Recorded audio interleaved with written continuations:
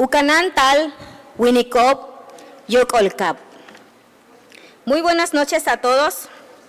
Saludo con afecto a mis compañeras y compañeros diputados, a los medios de comunicación y a todas las personas que nos acompañan en este recinto y a quienes nos siguen a través de las redes sociales. Con el permiso de la mesa directiva,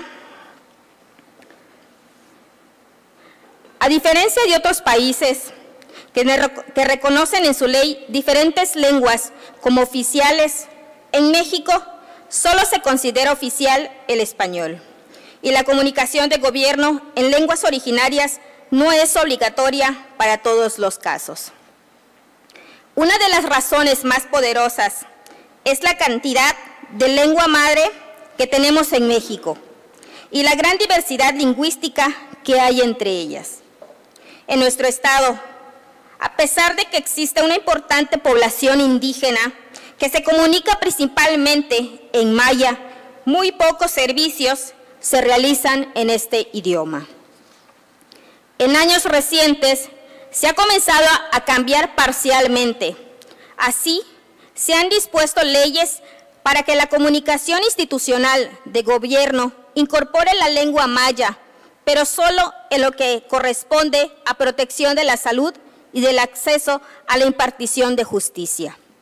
Sin embargo, aún queda un pendiente, la comunicación ante la llegada de desastres naturales.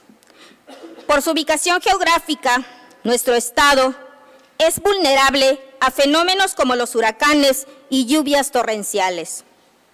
Si a estas condiciones naturales le sumamos el índice de marginación de las comunidades indígenas y las distancias con los centros urbanos, el riesgo para las personas mayablantes es aún mayor.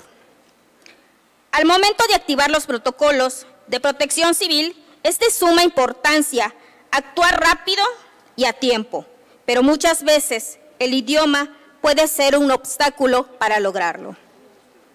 Por eso, a nombre de mis hermanos mayas, hoy presento ante ustedes una propuesta para garantizar los derechos lingüísticos de los pueblos indígenas dentro de la Ley de Protección Civil del Estado de Quintana Roo. Es decir, que desde la ley se disponga que toda la comunicación en materia de protección civil en territorio estatal se realice tanto en español como en la lengua maya. Compañeros y compañeras, esta es una medida necesaria, urgente, que ayudará en la prevención, actuación y disminución de riesgos.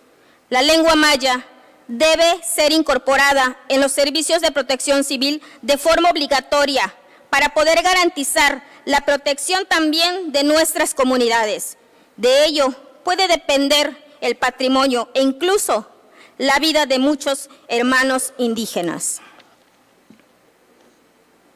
Emayat ane, kabetu kananta. Kabetu kananta, timase walo winiko, titulumi, Quintana Roo. La lengua materna debe de usarse para proteger a la población maya en nuestro estado de Quintana Roo. Es cuanto. Muchas gracias.